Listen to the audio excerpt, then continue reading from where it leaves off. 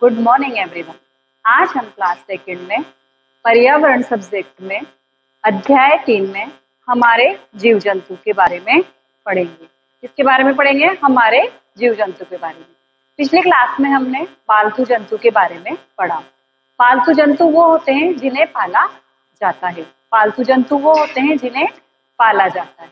तो कौन कौन से जंतु पाले जाते हैं और पालतू जंतु के नाम इस प्रकार हैं?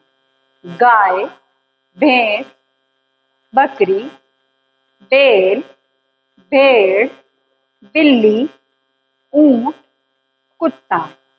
कौन कौन से जीव जंतु पाले जाते हैं? गाय, भैंस, बकरी, बैल, भेड़, बिल्ली, ऊँट, कुत्ता।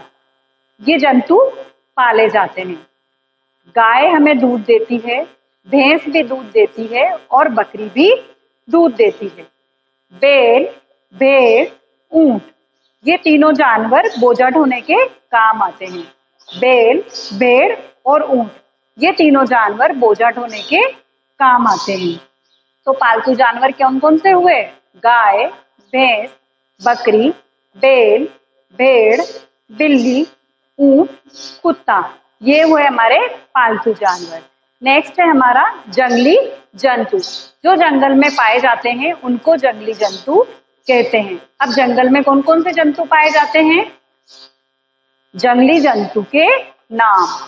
पहला, शेर, चीता, भालू, हाथी, हिरन, गीदड़, भेड़िया।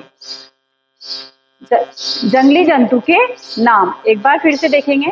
शेर, चीता, भालू, हाथी, हिरन गीदड़ भेड़िया ये हुए हमारे जंगली जंतुओं के नाम, जो जंगल में पाए जाते हैं। उनको जंगली जानवर कहते हैं।